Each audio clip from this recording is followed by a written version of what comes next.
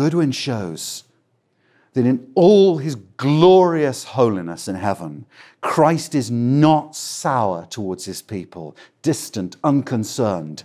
No, if anything, Christ's glorified, capacious heart beats more strongly with tender compassion towards his people. And if anything, in particular, two things, says Goodwin, two things stir Christ's compassion.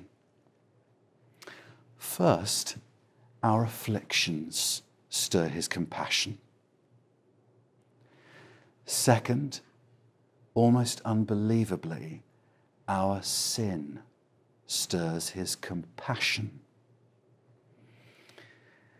Having experienced on earth the utmost load of pain, rejection, and sorrow, in all points tempted as we are, Christ in heaven empathizes with our suffering. There is a man who has suffered on the throne of heaven. He understands. But more, he looks at Hebrews 5, verse 2, where we read that it's part of the qualification of the high priest to have mercy on those who are out of the way. That is sinning.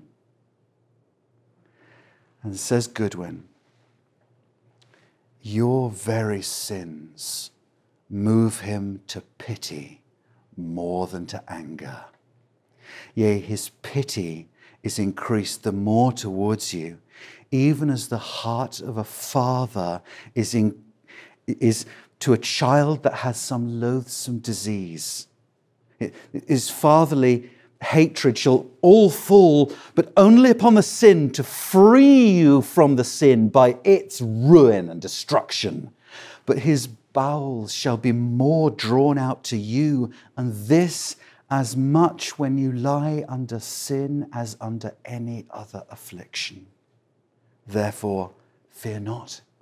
What shall separate us from the love of Christ? His point is those who are in Christ have a new identity.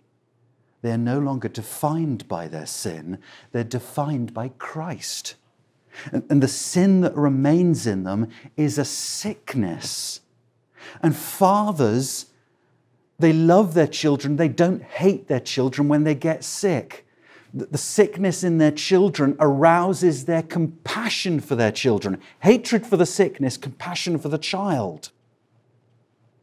In glory, says Goodwin, Jesus' first reaction when you sin is pity. Where you would run from him in guilt, he would run to you in grace. It makes all the difference when your heart feels cold and cloddish. Right then, in your very coldness, you can know it is your joylessness that stirs his compassion.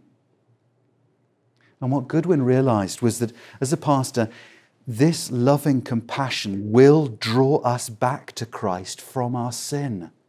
Maybe you sense it that in our guilt, we never want to face up to some cold, pitiless God. But the tender kindness of Christ woos us.